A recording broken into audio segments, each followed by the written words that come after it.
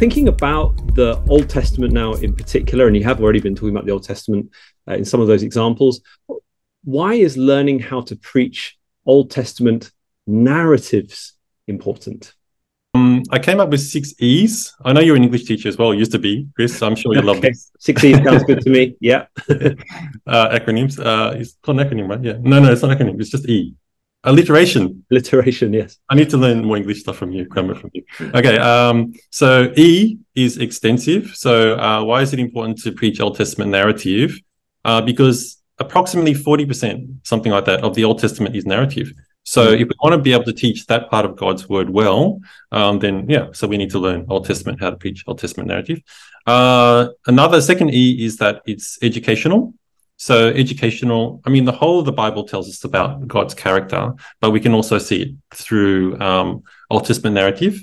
As often it talks about how God did this or God did that um, in the lives of his people, uh, especially in the Old Testament. So that's educational. So extensive, educational. Third one is, well, it's exciting. Narratives and stories are exciting. I mean, who doesn't like like a good story? Right. I'm sure you do, right? Because you have young children, you understand they like yes. they like stories as well. And um, I don't think we ever grow out of that. So even as me, someone who's middle aged, um, I enjoy stories as well. And uh, Old Testament is basically stories.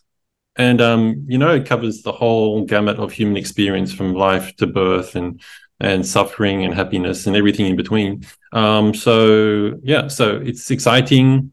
Um, it engages us in a way that I think maybe other genres don't in the same way.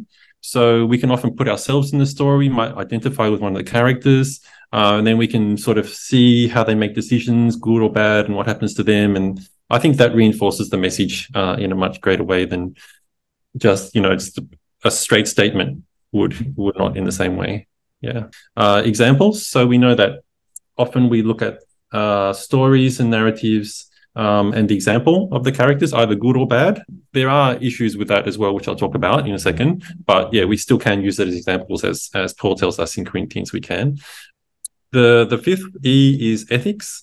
The fact that it's in the Bible, I think, pushes us towards a moral, ethical sort of uh, meaning for the passage. So it does teach us about God.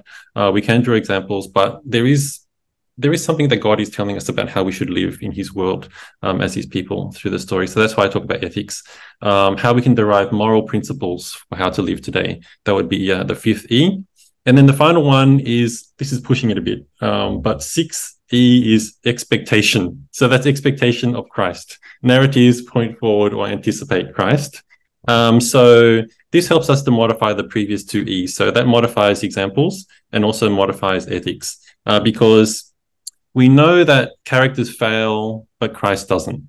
So the characters in the narrative are invariably going to uh, fall short as examples for us, whereas Christ never does. So he's like the perfect example.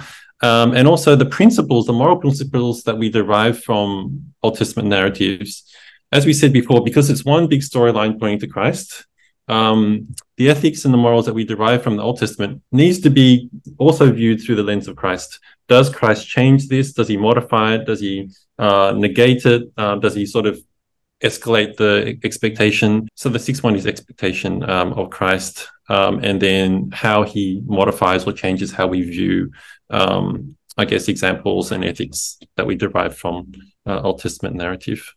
Okay, I'm, I'm I'm so glad you added that sixth E there actually, uh, because.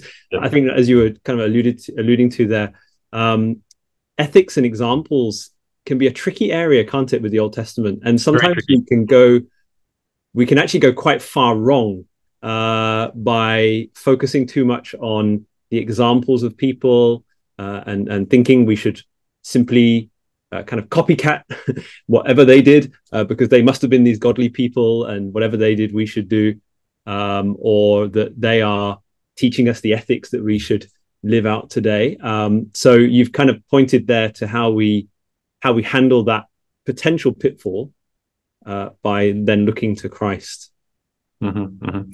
Yeah, so when I derive ethics from a, a, narrative, I like to confirm it with some clearer teaching in the Old Testament, maybe from the law. So, you know, do not steal, do not murder, you know, is that confirmed? Uh, but then I also like to see if that principle is confirmed uh, after Christ comes as well, uh, either in the teaching of Christ, uh, in the life of Christ, or application of the gospel in the New Testament writers, um, you know, the apostles and other New Testament authors as well. Right. That sounds like a great tip. Yeah. Thank you.